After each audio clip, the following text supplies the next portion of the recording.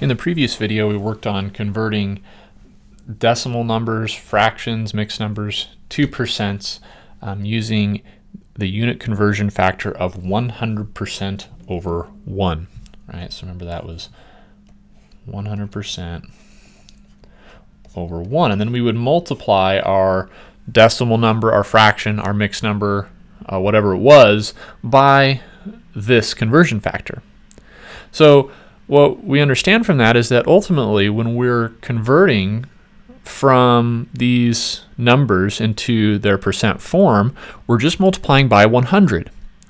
But we also know from previous experience that multiplying by 100 simply means we're going to move the decimal point to the right two places.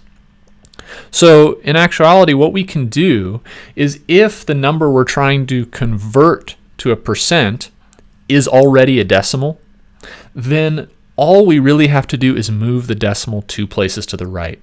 So this is a nice little shortcut. So if you see, okay, I have a decimal number that I want to convert to a percent, it's real simple. Move the decimal point two places to the right and then add a percent sign. So 0.65 is 65%.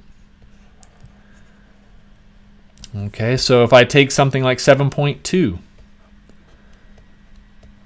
again, it's a decimal number, so I'm going to move the decimal point two places to the right, add a percent, and of course remember if you jump over a uh, an empty space in a number, of course you're adding a zero.